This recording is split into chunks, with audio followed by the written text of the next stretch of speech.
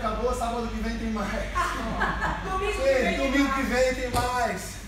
Mas infelizmente não vemos todo dia, porém, falei com o Pato e com o Mari. Contrato anual. Vocês podem trazer quem vocês quiserem aqui.